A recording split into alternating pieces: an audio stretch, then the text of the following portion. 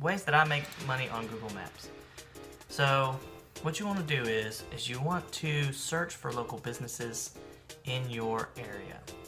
Um, what you could be doing is, is you're trying to look for businesses that don't necessarily have a web presence and you want to try to rank them on like the top three, what they call the, uh, the big three in Google Maps. So let's say I want a dentist in Shreveport that's where I'm currently living. And now, as you can see, you got your ads here, of course, but then you have the map of some doctors. I mean, some dentists, and then you have these three that are listed. These are like the big three in maps. This is the first thing people see without having to click anything else.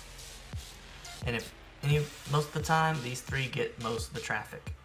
Um, if you click on more places, then obviously you will have your list of all the dentists in the area. So one way to make some quick money uh, doing this is um, you want to go down and you want to start trying to find listings that have this here that says own your own do you own this business now that means that this business is not registered with Google Maps um, it means that no one has actually put in the information to uh, claim this business so what Google Maps uh, said that they were going to do is that they're going to start removing websites that haven't verified their business on Google Maps. So what you can do is, is you can call these businesses, let them know what's going on, and you can, uh, what you do is you click on own this business, and basically it's just going to ask you some verification stuff, like what's the name of your business, you can type it out, and just basically some information. Now, when you uh, finish all of this, you'll have an option to actually mail a postcard to the address um, from Google saying that they've been verified. Now, what you want to do before you do any of this is you want to go to the business, find the person who's in charge, or send them an email. It's better to do it face to face because I find like it builds better rapport. And just tell them like look i was looking for dentists online and i noticed that your business isn't registered. And warn them that google's going to remove their business uh, page from google maps. Therefore like making them not able to be found by customers and this will really strike with them because they want customers obviously they uh, need customers to run their business so by telling them that this is one way that uh, to maintain that they can maintain their business and maintain their customers tell them that you'll do it for like 75 bucks. And really easy.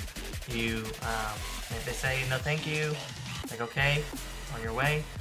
Um, but sometimes they'll do this because most of the time the business is making a lot of money. $75 is nothing. So $75, $100, I've had some people uh, say that they've charged $100 for it. But you go in, you do it, and you get Google to send them a postcard. Well, when they get that postcard, they will see that uh, you followed through on your on your promise. Now, this is where um, you can get referrals from them to other businesses that also have this own your own this business link uh, that they can be verified through Google, uh, and you can keep making money doing this. Or you can take it a step further, and if you have knowledge uh, in marketing or in website design you can say, hey, since I did this for you, how about, you know, I manage your social media account or your website or help you get ranked in those top three so that you can get more business and make more money. And uh, because you did that the front end with the verification, they'd be more likely to do those types of things. But that's only if you have those skills. Uh, this is something that I'm building a business with and think something that I'm training to do. So I just want to share with you guys. Uh, if you want to know more about it, uh, the information that I'm getting is from uh, I am Paul James. He's also a YouTube channel. Uh, he, he does SEO and things like that, and this is and he offers a masterclass uh, and a course on how to do this, how to make money. And they have customers uh, clients paying $1,500 reoccurring a month, and some people have like 15 to 16, even 20 customers. So they're making well over six figures a month.